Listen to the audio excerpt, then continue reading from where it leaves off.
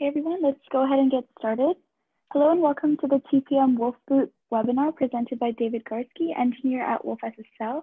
My name is Nandita and I will be moderating this webinar. All of the attendees will be in listen only mode and there will be a Q&A time at the end of the presentation. So feel free to enter any questions in the Q&A box and they'll be addressed at the end of the webinar. This webinar will be recorded and made available via link following the presentation. And without further ado, I present David. Hello, everyone. My name is David Garske, and I'm a software engineer at Wolf SSL. I have been with Wolf for almost five years, and I have been involved with several of the libraries we offer. So I'm going to talk today about Wolf Boot with TPM, Secure and Measured Boot. So quick, I'll go over uh, just a short introduction of uh, Wolf SSL uh, for any newcomers. So this company started back in 2004 and uh, our CEO, Larry, was at MySQL, and they needed a clean room implementation of SSL. And so he hired our CTO, Todd, to write this. And originally it was in C++, and it was called yaSSL. And then in 2006, due demand, popular demand, we uh, wrote it again in C, called CyaSSL. And then in 2014, we did a name change, uh, and now we're called Wolf SSL. So that's our company name and our, our I guess, our primary product name as well. So currently have over a thousand OEM customers, 14 resale partners, and we secure over 2 billion connections uh, at any one point in time. So here are our products. We have Wolf SSL, which is our TLS client server library, which uses WolfCrypt. WolfCrypt is our crypt cryptographic engine. It has uh, C versions of all of the algorithms plus assembly speedups in many cases. It's FIPS 140-2 certified. It's also DO 178 certified. And we offer an asynchronous version of it. Uh, so we also have Wolf MQTT. It's a lightweight MQTT client, an SSH server and client, a TPM 2.0 library, and a secure bootloader called Wolfboot. That's what we're going to talk about today. Of course, we have lots of other little wrappers and things like that. So all of our software is open source. We distribute it in, at GPL v2, and we also offer a commercial license. Uh, most, uh, all of these libraries can be found on our website or on GitHub. We also offer professional support from engineers like me, and we have consulting services for integration or new features. All right, so now I'm going to talk about Wolfboot and just a little overview of the library. So this library was written in C for you know embedded use as bare metal. It has a very small footprint, so it can run on uh, you know compact devices. It doesn't use any malloc free. It's all mem memory safe implementations. Uh, it has support for onboard and external flash. It uses a very simple partitioning scheme uh, for handling updates and a, a, small header that goes on the front to identify the partitions, which we'll go over more. We've abstracted all the HAL interface to make it easy to add new targets, and we support quite a few targets right now already. And uh, the bootloader itself actually handles the swapping for updates when new updates come down, and it's uh, fail-safe. We also have key tools for key generation and signing. So we currently support these methods of uh, auth authentication using, well, it's basically a signature, right, where you verify it, verify hash. So we support ECC, RSA, and ED 25519. And the integrity of the image can be done using SHA-2, 256, or SHA-384. So the header basically has some tags on the partition, which is a version, a hash of the, the entire image, plus some of the header, and a hash of the public key and a signature. There's a few other things in there too, like the types of those things. And um, it's just a real simple tag format. This is uh, the header sizes by default for each type of asymmetric signing algorithm. Uh, so for ECC and ED 25519, it's 256 bytes, and for RSA, 2048 it's 512, etc. So the, the scheme is really flexible and it's determined at build time. There's a partition reserved for the bootloader, the primary boot application, another partition for the update where you would put the over-the-air update into, and then there's a, a, swap sector, which is basically your fail-safe sector that keeps track of uh, the currently the current sector is being programmed and the state of it. And we support a reliable firmware update mechanism that's independent from the transport. So the actual swapping of images is handled in the bootloader, not in the application. The application is responsible for uh, actually downloading it and putting it into the update partition. We also support a fallback. So a scenario where the update has occurred and it didn't boot properly, uh, we will fall back to the last known configuration, the, the last update. See, so we have current HAL hardware target support for a long list of STM32 platforms, NXP, Kinetis, and LPC. ARM. There's, you can read these long list, and it's pretty easy to expand, and we're expanding them all the time. So see. Um, so hardware cryptography support. So this is offloading of operations to hardware crypto. So anything that Wolfcrypt can already leverage, Wolfboot leverages as well. Uh, but in this case, uh, I just put together a few that, you know, so it's TPM 2.0, STM. STM has SHA-256 acceleration for all those. And for example, they, they have a WB55 that has ECC acceleration, you know, and on. There's lots of different options here. All right, so now I'm gonna give a quick overview of Wolf TPM. So uh, also all written in C, uh, it's just a, a, clean room implementation. Uh, it's designed for embedded use. It has no external dependencies. So like most TPM stacks, there's several layers deep and lots of code. In this case, it's meant to be very compact and directly talk to the hardware, right? So um, there's no memory allocations as well. Everything is stack based and it exposes the the lowest level APIs that the, the, the, the specification defines from the TCG. Uh, so those are the TPM2 native APIs. And then we've added simplified wrappers to, to help with like, norm, like I would say the most common use cases. So in a bare metal embedded, embedded environment, you would typically just define a your own custom IO callback for the hardware interface to, to SPI. Um, and then internally, we have our own transport interface, the TIS layer uh, that handles the, the communication over SPI. And on Linux, you have a couple options. You can you can either use our internal TIS and access, you know, dev SPI dev, uh, or you can use the Linux native dev TPM zero. So we support both of those. And in the later case there with dev TPM zero, it allows you to use it concurrently with the, uh, the TPM2 tools and the things built in with Linux.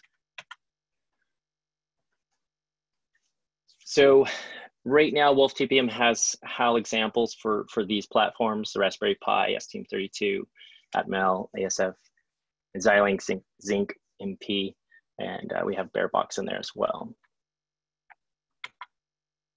And then we've tested Wolf TPM with the following TPM 2.0 modules. And technically it would be compatible with any because of the specification, um, but we've tested against all five of these. Um, and I have some more information about each of these coming up here. So we also include examples for the native APIs, the wrappers, PKCS7, certificate, you know, CSR certificate signing request, TLS, client server, benchmarking. We have a new one for doing a assigned timestamp for attestation and uh, PCR, which is the platform configuration registers used for measured boot. So I'm gonna give a quick background on TPM 2.0 some of this I've presented before, so I'm gonna go through it pretty quickly. Uh, so a TPM module is a trusted platform module. It includes key generation and storage capabilities, and it was developed by the TCG back in November 99, um, and it was had members such as Intel and Microsoft. So all of our efforts are around the TPM 2.0 specification, the latest one. Um, that was released back in 2013, but you can see some of the history there. So the most common uses of TPMs are in PCs and and I'll go into that a little more, but we are seeing a trend for using these in embedded IoT devices. Uh, thus, that's why we wrote Wolf TPM. So it, at a high level, there's three hierarchies, platform owner and endorsement. Each hierarchy has a generated seed and policy associated with it. Um, the seed is used along with a key template to generate any key um, that uses HMAC to drive the key. And there's also a null hierarchy for uh, ephemeral keys. So in a TPM, you can securely generate, store, and use keys. It also has non-volatile memory to store uh, data, and there's one-way counters. Uh, let's see, there's a, a, true hardware random number generator. There's the platform configuration registers for measured boot. It has some dic dictionary attack prevention mechanisms. Uh, the TPM private key material is encrypted with a key that only the TPM knows, and previously created keys can be quickly reloaded. Uh, and most of these modules have some type of certification, they're common criteria RFIPS. Uh, an interesting feature about generating a key is it actually gives you back an encrypted blob, and then you have to load that. And you can really only have about, I think it's four or five keys loaded at a time. It's not a very large number but it's meant that the the uh, the host actually store those encrypted blobs and then load them as needed. So TPM supports a large list of algorithms, and vendors could add custom algorithms if they so desired. Most commonly would be RSA 2048 and ECC, the 256-bit, the NIST prime curve, and SHA-2. So I'm going to dive in just a little bit into the modules and the differences between them. Uh, and this is the bottom of the, the table, it's hard to tell. And I highlighted some of the differences, but you can see a few characteristics about these three modules. I didn't have these characteristics for the Nuvoton or the Nations Tech one. Um, but the ST one was the only one that had CBC encounter. Uh, it also has the common criteria NFIPS 140-2 level two. Uh, one thing to know is Infineon does not have very much onboard storage. The other two modules have quite a bit more.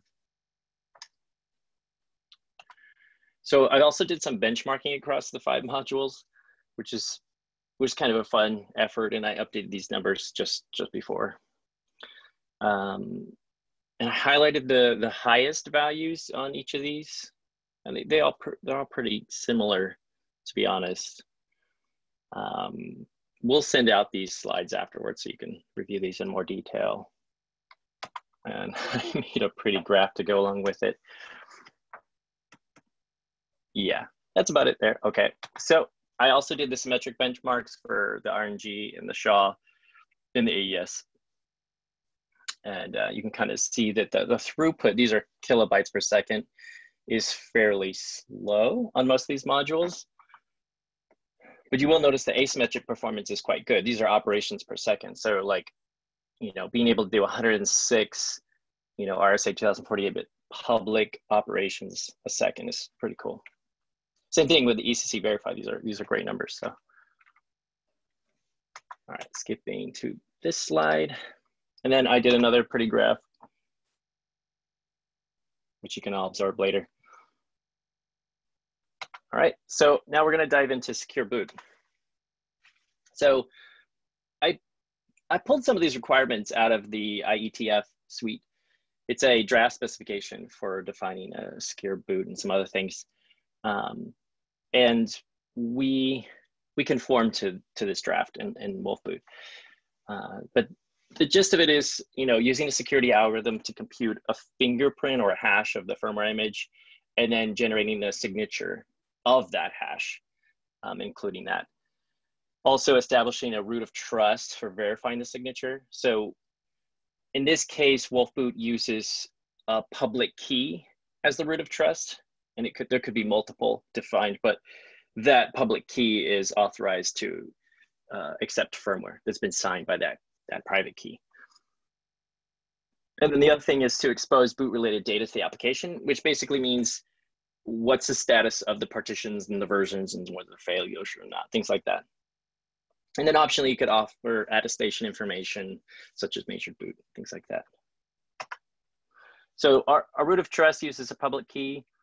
You would typically establish this at time of manufacturing, and it could be written to flash or, uh, I didn't mean OTA, I meant OTP, or external trusted device. Uh, there should be a mechanism to revoke and update this in the field which is a process. Uh, so attestation, I just wanted to put a slide in here about this. So an example of it is assigned timestamp, which is basically a way that the the TPM specifically can sign uh, or attest to a piece of information that's specific to the TPM. So it can generate a, an attestation identity key, which is an AIK. It's a TPM term. And those AIKs are linked to a TPM private key that only TPM does.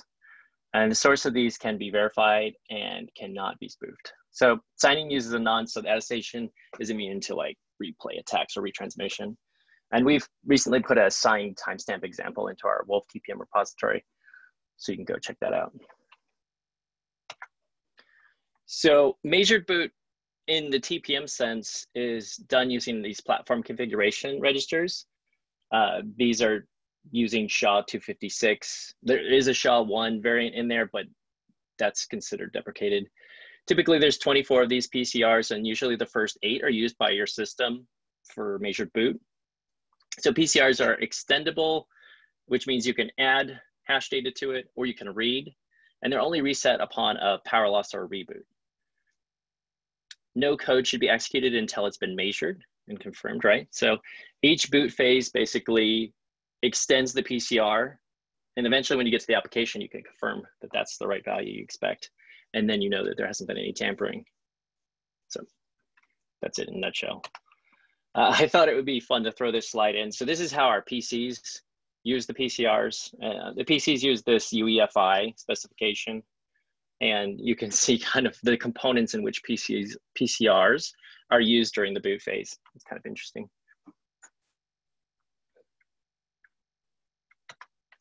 All right, so I, I'm gonna deep dive a little technical here. I'm gonna show you using Wolf Boot, how simple it is. So I wanted to go over the directory layout real quick. So we have some configuration templates in this config examples directory. There's an extensive amount of documentation as markdown in their markdown format in this docs directory here. And then all of the, the hardware abstraction the support that we have is in this HAL, HAL directory. There's also some SPI and UART stuff. Uh, and then this, there are sub modules that link to uh, WolfCrypt and Wolf TPM. They're in the lib directory. And then source, we have image.c is responsible for the cryptographic stuff. Uh, the main is actually in loader. The public facing API is used by your application to, let's say, trigger an update, those are all in libwolfboot.c. And we also have uh, test applications. It's basically, some of them will blink an LED or something to show you that it booted successfully. It's just a reference. And then we have a whole bunch of key tools that help with signing and key generation that you can use. So the first step in putting together and configuring your environment is creating a .config file that sits right in the Wolfboot root. And again, we have some examples that you can copy. So you can literally just copy one of the files in there to .config. Or you can use make config and it'll list out each option and you can choose and enter what you want. This is just an example for the STM32WB. And I'll talk about some of these parameters up next here. So some of the important uh, parameters that gets out of the target, and this is a list of the targets we support. Also the signing algorithm, asymmetric algorithm that we used for the signature and verification, and the hash algorithm. If you want to enable Wolf TPM support, you just say Wolf TPM equals one. We also support a, a very, uh, a very fast uh, asymmetric version of our math. It's called SP or single precision. And we have C versions of it. We also have assembly versions. Um, and I'll show you the difference in code size and performance. It's quite drastic. Uh, you can turn off the assembly for the SP math using the NOASM. The VTOR is just the vector interrupt table relocation. It should usually be set to one, only some platforms won't. And then we actually support updating the bootloader itself if it's enabled at build time.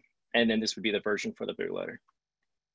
So the bootloader update is not power fail safe, but the other updates with partition swapping are. So these are the important parameters you set. So one is the flash sector size. Uh, the partition size is basically the size of your application. And this, this reflects to your boot partition and your update partition. So both of those would be this size. And we also support using external flash for the update partition. Uh, I didn't include that option, but it's SPI underscore flash equals one. And then there's an external flash option too. You can see the documentation, but the, this doesn't have to be on chip for the update. It could be external. And then this swap address is where we have a flash sector size for doing the, the uh, power fail safe update. So this is just a, just a quick, imagine this is your console and you're cloning the repository. Uh, you first need to up, initialize and update the submodules. And then we've recently added C versions of the key tools. So you can say make key tools and it'll build those. There's also, uh, by default, I'll use the Python versions, um, but you have to have the WolfCrypt Py installed. And so it's a little, little difficult on some platforms like Windows, but on Linux, it's pretty easy. And there are instructions in our README. So then you would take a configuration and you would copy it and you would do a make. And what we generate is a wolf boot, elf, and bin. So that would sit in your boot partition the application code that sits just after that. And then we ultimately give you a factory bin. So that is a, comp combined image of, of the bootloader and the application, which includes the sign header. If you don't have a key, we'll actually generate one. Uh, yeah, and then sign it. So now I'm going to talk about key generation. So we have this key tool, keygen, and you can specify the asymmetric algorithm, and then you need to specify the one of these files for where the public key information goes. Because right now the public key gets embedded into the bootloader. That's the root of trust. Um, but you could easily extend that. So um, currently keys are expected to be, the private keys are expected to be here. Uh, that's if you're going to use these keys. You can we also support an external key source like an HSM. Uh, and then public keys are expected to be as C files there. So this is the signing tool. Um, you specify the algorithms and then the image you want to sign as well as the key and version. So this one, as you would do updates, you would increment that value to two, three. And Wolfboot by default does not allow downgrades. So if somebody tried to use an install an older version, let's say that would not be allowed, except in the fail-safe case. Let me clarify. So um, if you wanted to output just the hash to be used external, you know, with an external HSM, you can say SHA only, and then you could supply the signature using manual sign. We cover all this in the documentation, but it's nice that we support use of an external key. So this is basically what your update flow would look like. So the application firmware uh, is responsible for downloading this, it could be over the air, and placing it into the update partition. And we have APIs available to tell you uh, where that is and stuff, uh, what the status is. And then you would call wolfboot update trigger and you would reboot. So then when wolfboot comes up, it'll see that the status says there's an update pending. It does all the signature checks, the hash checks, and then it will actually perform a swap of those partitions itself. And there are a few platforms that actually do uh, hardware-based swapping, and we support that. I think it's NXP has one of those, and maybe another one. Um, let's see. And then, so after Wolfboot's done with the swap, the application will boot and the application needs to call wolf boot success. So that marks that the, the boot and the update finished successfully. If that success is not called and another reboot is detected, we will roll back. We will roll back to the previous version. Let's see, so this is just kind of a visual about how we do the partitioning. And you can see you have your bootloader, your boot application, your update, and then the reserve sector for the swapping information we actually use a few bits to can keep track of the current status and the, um, oh yeah, that's right. We use a few bits right at the end of the last update sector to track that, not in the swap partition. And then to enable Wolf boot, Wolf TPM support, you would add this flag and then um, you have to make sure you have a SPI interface defined. We currently support the STM32 and R52 and Zynq for HAL interfaces to the SPI, external SPI support. Um, and then at that point, all verification of the signature will be done on the TPM. And you can optionally offload the SHA-256 hash as well if you wanted. Um, but that is very slow, but it, we can, it, does, it is supported. Okay, so now I'm gonna show you some interesting comparisons between performance on a few different platforms. So I, I gathered these numbers just a few days ago. Um, so what we're talking about here is the asymmetric algorithm that was used for signing. And so this is the, the code size. So let's say on this target, STM32F4 running at 168 megahertz, had 25519, it was 10K, 10,712 10, bytes, and it took 649 milliseconds to boot. So this is our C version. Let me see if I can get rid of this. Yeah. So this is our C only version of the single precision math. You can see the code size and the time it took to do the verification. Our assembly version of the single precision uh, you, for, that's optimized for Cortex M only took 36 milliseconds. But you see the code size is a little larger. We're talking 20K. And then for RSA, 2048 with our single precision and assembly, it only took 17 milliseconds on this platform, and it was 11, 11K basically. So with the TPM, it took 182 milliseconds, and the size was about 11K as well, and that was with an Infineon TPM.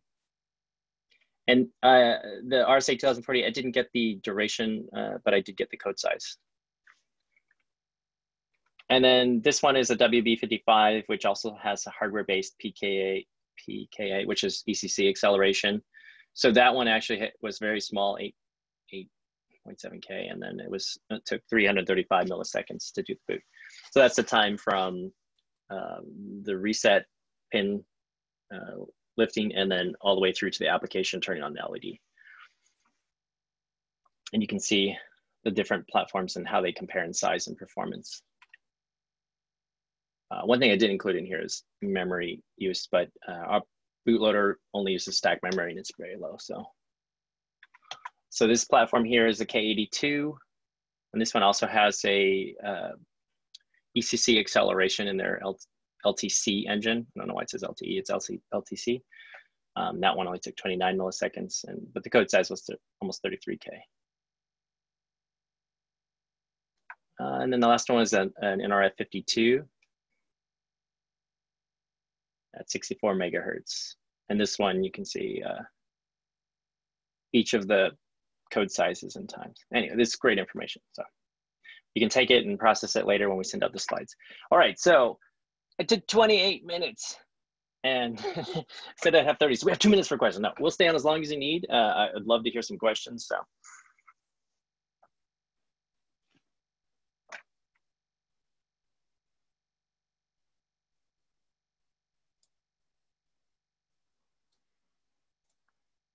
It looks like I can actually pull up the questions. I guess I have the list of questions. Okay.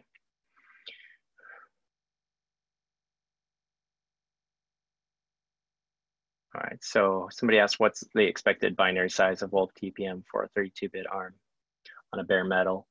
The closest I could give you is the, uh, the one including Wolf boot, which is right here but this includes all the Wolf boot code as well. Sorry, it's, yeah, these two.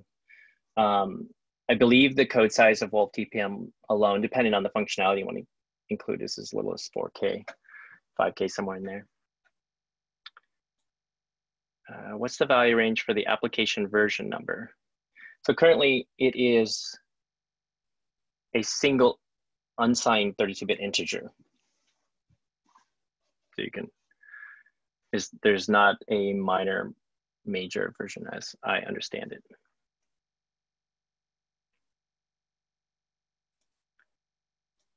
Let's see.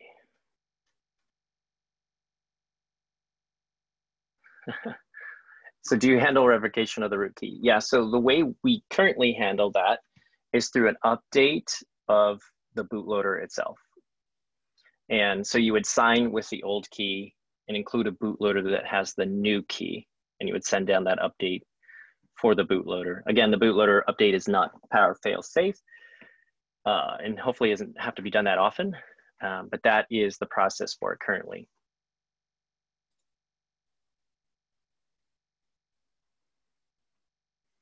So this was a question, sorry, I may not have asked the question. So the question here is, is the TIS layer which is the transport interface specification layer, a secure channel between SOC and the TPM. So it's not in the TIS layer exactly, it's a layer above that, but uh, TPM 2.0 does support parameter encryption, and it can use either an XOR or an AES-CFB of the first parameter in a, a TPM command. Um, that is something we're about 50% through implementing, and that feature will be available at some point soon. Um, which it is very handy. Ah, this is a good question. Does Wolf Boot support updates that are encrypted on external flash? So the, the answer right now is no, but it is currently in progress. It is something we are working on adding. Uh, so it should be done the next month.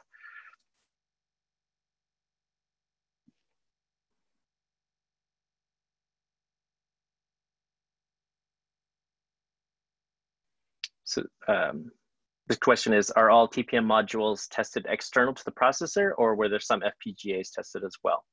So all of his testing was done using just uh, those modules we listed, not FPGAs. So they were all external to the processor. Um, and all of these modules that we tested here were all over a SPI bus. Yeah, so all these modules.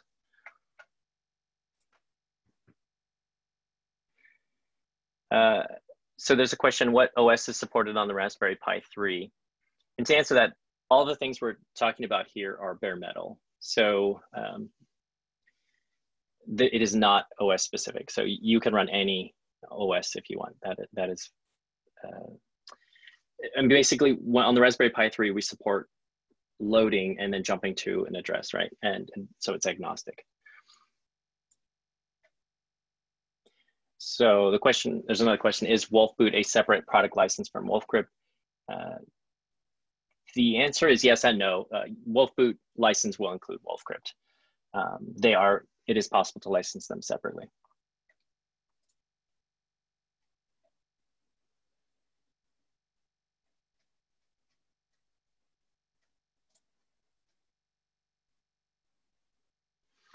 Let's see if I can break this down. There's three questions here. All right, so on the Wolf Boot part, you mentioned private keys also being on the device. Where are they actually stored and how are they protected? So Wolf Boot only stores the public key material. Uh, the, the private key material, this is used for the signing of the firmware image, is maintained at your manufacturing facility or development facility that generates firmware, and it could potentially be in an HSM or something protected. Question two is swapping during upgrade. A single sector is used for swapping. I believe that even the IETF SUIT, this week pro draft, proposed to use at different parts of the flash to avoid wear on a single sector. That's great feedback, and we'll take that into consideration. Uh, that, that is that is very true because these flash parts have you know only a certain number of cycles on that that sector that's used for swapping. Uh, okay. And then what does it take to port Wolfboot to a new and currently unsupported device? So it usually takes us a day or two.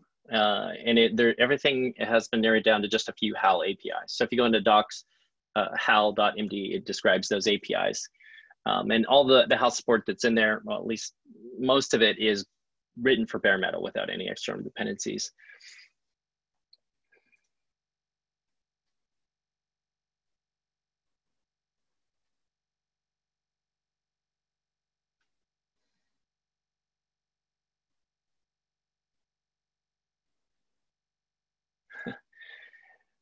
This is a very, very Xilinx specific question. Does Wolfboot start before ATF? And if so, does it launch BL1 directly? Uh, yeah, so um, Wolfboot starts after ATF. Uh, the Xilinx boot process has a bunch of things it does. Um, and the, the, the BL, I think you mean the ex, exception level, EL1, it, it, is corrected. Exception levels drop to EL1 by the time Wolfboot comes along.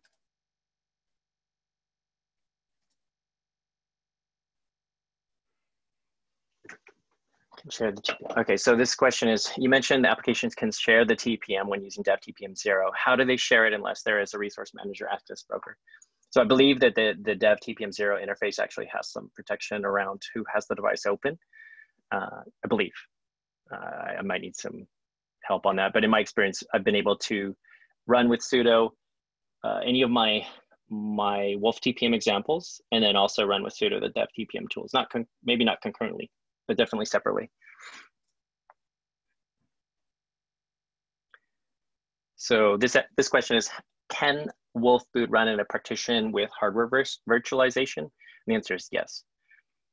I haven't done it, but it's definitely, definitely possible. what about the scope of common criteria and FIPS certification for Wolf Boot? Is it only with Wolf TPM support? So that's a great question. Very good question. So Wolf, Wolf Crypt actually has FIPS 140-2. And if you're using Wolf Crypt, then you would also have FIPS certification. The, the FIPS 140-2 is around the crypto software module, um, the boundary is, so you would automatically inherit that if you were using Wolf Crypt FIPS. Um, the other part of that question is um, about common criteria, which, oh yeah, no, also, that's right. Um, so a lot of these modules, these TPM modules do support common criteria. We thus far haven't pursued common criteria certification. Uh, the FIPS 140-2 level one has been sufficient. Um, and I was also thinking of uh, that we are pursuing DO 178 with Wolf Boot. We've already begun that work. So that DO 178 certification is for uh, like aircraft and mission critical systems.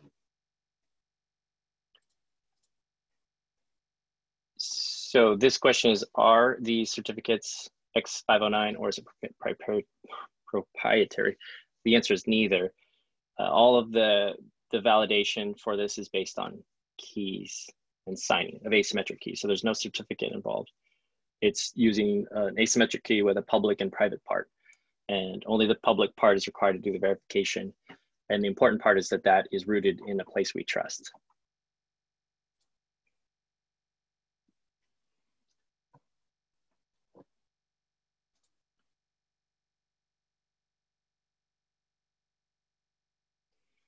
So this question is, can I use a different key to verify boot modules at runtime and a different key to verify the update package? Um, so we do support two public keys being embedded into the bootloader. So conceivably that's possible. I have not tried that. Uh, I think it would be very easy to add support for that. So feel free to reach out to support at wolfssl.com. You can talk more about that or facts at wolfssl.com. Uh, so this question is, will this work with VxWorks Wind River if the hardware is locked down, RTOS PAC PLC, i.e. not a real traditional host? I believe the answer is yes, because we're agnostic to the OS, but I'm not clear on some of those terms, so we'll have to defer that one. So that is all the questions I have. Oh, there was one more about uh, ESP32. So is there ESP32 support on your roadmap or does Espressif IDF in, uh, reduce the relevance of the, the work? Um, so WolfCrypt does support ESP32. So even though I didn't list it, it is a supported platform because you could leverage that uh, through WolfCrypt. Uh, it would just be a matter of getting the build settings correct for that. Okay, so Nanditha, is there any other questions you have uh, from the panelists? Yeah, so it looks like there are three more questions from the panelists. Um, for the panelists, can you discuss attestations and what APIs are available? And then, so what verifies bootloader? And then also someone wants to go through the boot process on RPI. Uh, so you wanted to describe attestation. So it's a process of verifying the, uh, this slide is, uh, yeah, uh, is it possible you can send me the question on Skype or something? Yeah. While she's doing that, there was another question, how the root of trust is extended from the TPM to the SOC, initial boot, SOC bootloader, SOC OS, etc. Um, so that's what measured boot does, right? Um, in our case, Wolf Boot, we're really early in the boot process. And so uh, it's just a matter of calling the PCR with a hash of the application or even the bootloader. Um, and then it's the later stages that are responsible for reading those and checking those. So what APIs are available? Yeah, so right now our attestation just uses the TPM2 native APIs. We're in the process of adding uh, wrappers to make that process easier uh, because the, the process of doing attestation requires having uh, an endorsement key and a storage key. and some policies and an authenticated session. There's a lot of things. So we will be adding wrappers in the next, probably by the end of the week, um, that simplify that process. And it takes a lot of the work we did in the, uh, the sign timestamp example and makes those easier to use. So the other question is, could you go through the boot process of the Raspberry Pi with Wolf Boot? Uh,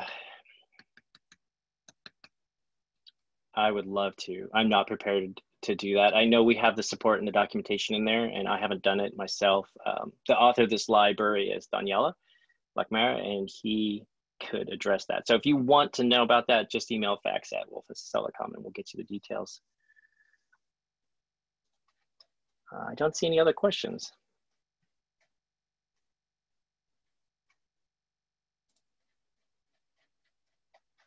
Anything else?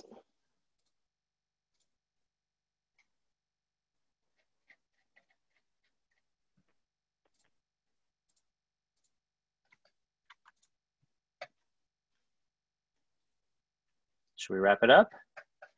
Yeah, it looks like there are no more questions. So thank you everyone for coming. Thank you, David, for hosting this webinar. It was very informative. And I'll be sending out emails to all the registrants with um, the recording of this webinar in case you wanted to refer to it, as well as the slide deck.